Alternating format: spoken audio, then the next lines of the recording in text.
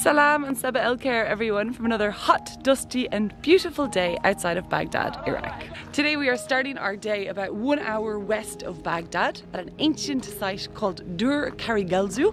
Um, this is an ancient temple, apparently they used to worship the moon. It was built by the king of Babylon in the 14th century and it was part of an ancient city of Mesopotamia. Probably saying that all wrong. Mesopotamia? I think that's correct. Um, and all that remains now of that ancient city is this one last remaining ziggurat, ziggurat temple, and a few little remains of the temples around it. It's a pretty amazing site to visit. Obviously, it's so old, so beautiful, and still pretty well maintained, to be honest.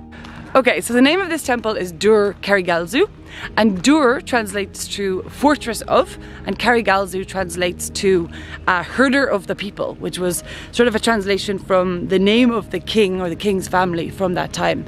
So they kind of think that this temple might have been called, if you were to translate it into English, um, the fortress of the herder of the people, or the fortress of the king's people.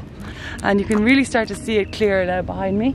Um, it is absolutely huge. Like this this date tree, palm tree, um, is pretty tall, and this structure is at least two times as tall. You'll see now when we get a bit closer.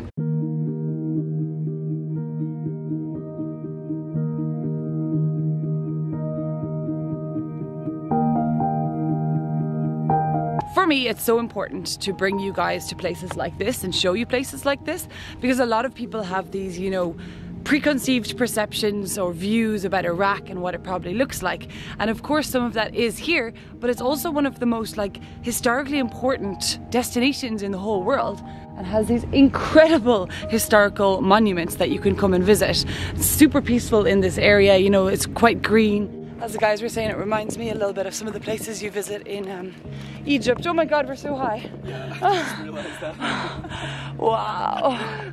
This is crazy. Slightly scary. Be careful.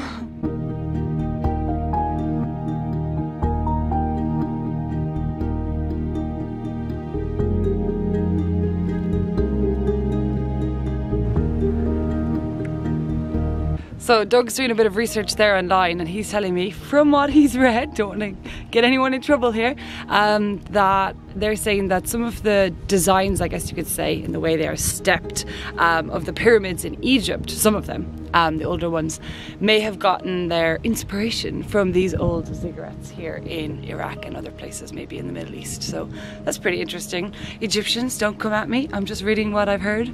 Um, but yeah, it's pretty interesting.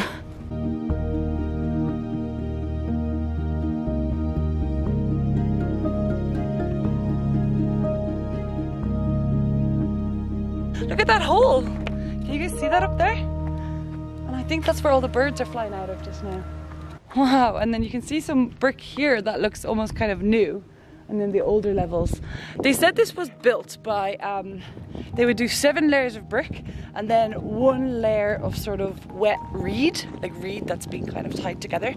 And that helped to kind of cement the bricks together and to keep it all in place. I think maybe that's what they were saying about the Egyptians using the same method as well, about the seven layers of brick and then one layer of reed. But who knows?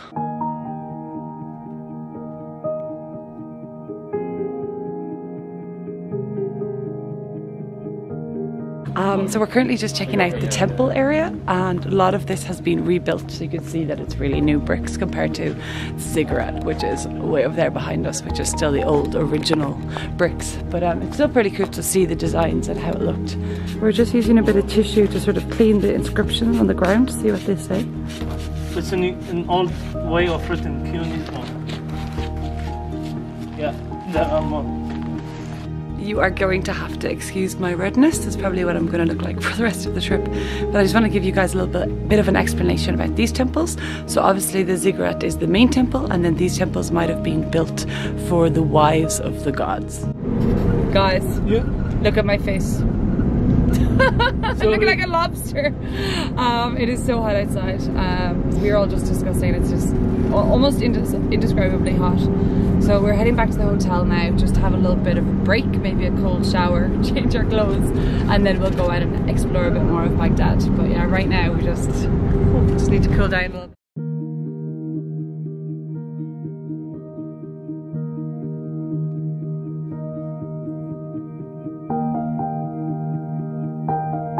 Our next stop today is a monument here in Baghdad called Save Iraqi Culture. Um, it is a pretty unique, pretty cool monument statue, and it is a kind of looks like a man with many heads, but the heads are actually extra arms. So it's five arms holding up this falling pillar, which I guess represents the, the pillar of Iraqi culture, whether it's um, artifacts and manuscripts and everything else that sadly a lot of stuff has been ruined or taken or stolen or looted, uh, whether it be by Iraqi people or by other people coming into Iraq over the years. And so much of Iraqi culture, um, sadly, is now gone, um, and they need to do more to preserve Iraqi culture. So this is just a monument to sort of say, like, this is what we need to do. We need to stand up. It's not going to take one person, as you can see, five different arms. It's going to take a lot of people to preserve Iraqi culture and to save it. Woo. So guys, after a pretty intense uh, morning of sightseeing, we've just come here for lunch. There's so much food on the table. I will try and describe it all to you, but I'm not even quite sure what it is. But we're starting with some sort of soup that has um, some sort of Iraqi lemon inside. So for lunch today, we're having Huba Al Baghdadi. That's the name of this this restaurant, Al Baghdadi. We're right to a giant meatball, which kind of looks like bakso, like the way you would get bakso soup in Indonesia. Um, and apparently that you can get this soup and pour it over the bakso ball.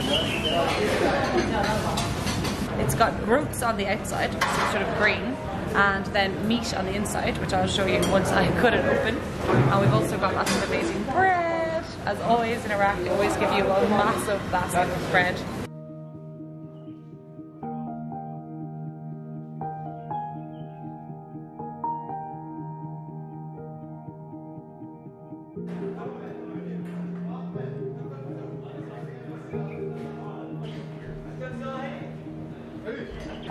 It's almost gone already. Jay, really amazing. I love it. what's your favorite thing on the table? The soup. The soup, okay. The bread here in Iraq is amazing. Every time you sit down, they always give you this massive basket of bread, and it's super hot, super fresh. Just like tear it open. Like my assistant Jay is showing you. This bread is some of the best I've had. it's so good. One of the best.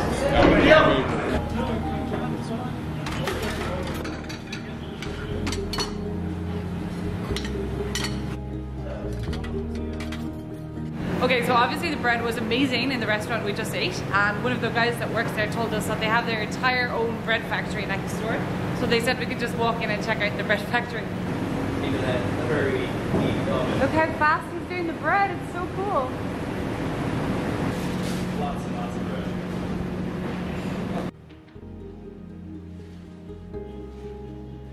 Oh, look how fast he's doing this. This is incredible. He's gonna get it and then he's gonna throw it all in the pile. I'm going to end today's vlog here, but be sure to subscribe so that you can get notified for more Iraqi travel vlogs coming in the near future.